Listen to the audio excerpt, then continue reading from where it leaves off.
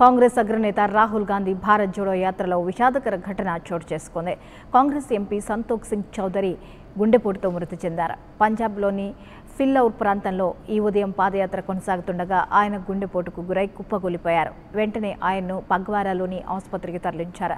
ఆసుపత్రిలో ఆయన కన్నుమూశారు ఆసుపత్రికి రాహుల్ గాంధీ కూడా వెళ్ళారు. ఈ విషాదకర ఘటనతో భారత్ జోడో యాత్రను ఒకరోజు ఆపివేశారు.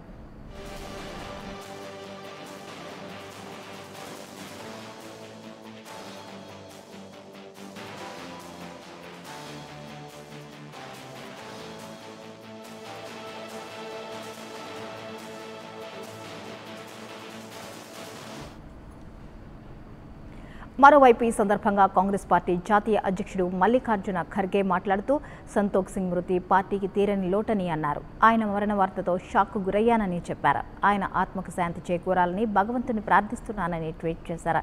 ఆయన కుటుంబ సభ్యులకు సానుభూతిని తెలియజేశారు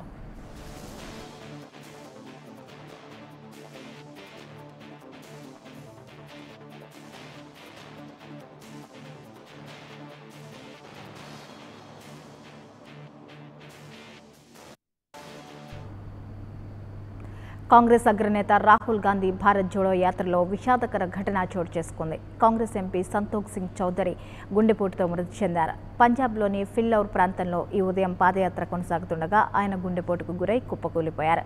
వెంటనే ఆయన్ను పగ్వారాలోని ఆసుపత్రికి తరలించారు. ఆసుపత్రిలో ఆయన కన్నుమూశారు ఆసుపత్రికి రాహుల్ గాంధీ కూడా వెళ్ళారు. ఈ విషాదకర ఘటనతో భారత్ జోడో యాత్రను ఒకరోజు ఆపివేశారు.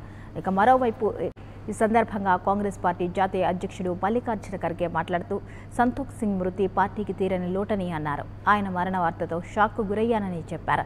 ఆయన ఆత్మకు శాంతి చేకూరాలని భగవంతుని ప్రార్థిస్తున్నానని ట్వీట్ చేశారు. ఆయన కుటుంబ సభ్యులకు సానుభూతిని తెలియజేశారు.